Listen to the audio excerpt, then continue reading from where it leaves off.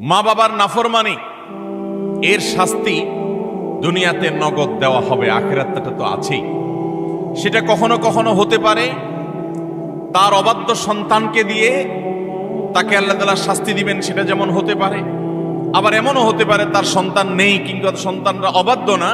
আল্লাহ তালা তাকে অন্যভাবে অপমান, অপদস্থ করে, লাঞ্ছনা দিয়ে, কষ্ট দিয়ে, তার থেকে নেয়ামত ছিনিয়ে নিয়ে কোনো না কোনোভাবে আল্লাহ তালা তাকে শাস্তি দিবেনই দিবেন। তবে হ্যাঁ যেই কোনো অপরাধের পর যদি কোনো মানুষ আল্লাহর কাছে তওবায় নাসুহা করে, খাঁটি অন্তরে তওবা করে, লজ্জিত হয়, মাপ চায়, ফিরে আসে, তার কথা ভিন্ন, আল্লাহ তালা তাকে মাফ করবেন।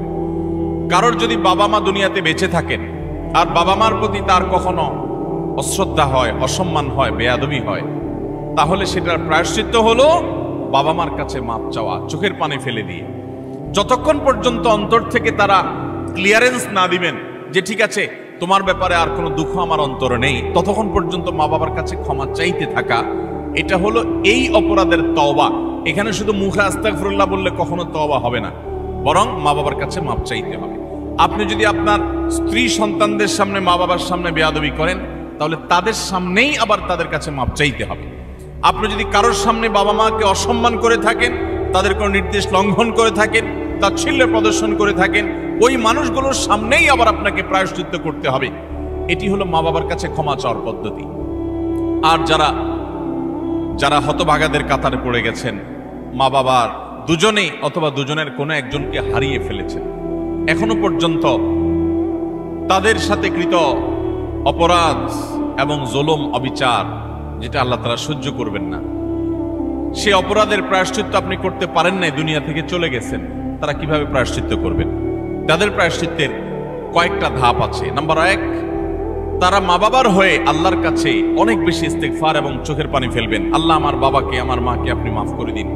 নামাজ পড়ে পড়ে ভোর রাতে তাহাজ্জুদের সময়, জুমার দিন মাগরিবের আগে, আসরের পরে সূর্যাস্ত যাওয়ার সময় গুরুত্বপূর্ণ দোয়া কবুলের কিছু সময় আছে।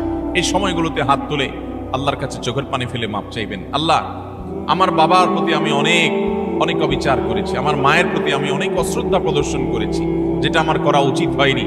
আল্লাহ তালা কোরআনে করিমে তার ইবাদতের নির্দেশের পরেই যার কথা বলেছেন, তিনি হলেন মা বাবা রেদর রব্বে ফি রেদল ওয়ালিদাইন রব্বে ফি নবীজি আলাইহি সাল্লাম বলেছেন, কারোর মা বাবা যদি তার উপরে সন্তুষ্ট থাকে, তো আল্লাহ তার উপরে সন্তুষ্ট আর মা বাবা যদি অসন্তুষ্ট, তো আল্লাহ তার উপর অসন্তুষ্ট। মা বাবা হলো মানুষের জান্নাতের দুয়ার। এটাকে ঠিক রাখলে মানুষের জন্য জান্নাতের পথ সুগম হয়, মোহতরাম হাজরিন। এই জন্য কোনো ইমানদার যদি তার মা বাবাকে হারিয়ে ফেলেন, দুজনের কোনো একজন চলে যান। এটা বড় দুর্ভাগ্যের কথা যে জীবদ্দশায় মাপ চাওয়া হয় নাই। প্রায়শ্চিত্ত করার জন্য প্রথম কাজ হলো মা বাবার হয়ে অনেক বেশি বেশি ইস্তেগফার করা, ক্ষমা প্রার্থনা করা, তাদের হয়ে আল্লাহর কাছে আপিল করা, দোয়া করা, আল্লাহ তাদেরকে মাফ করে দিন। এই কাজটি অনেক বেশি পরিমাণে করতে থাকা, দিল থেকে করতে থাকা।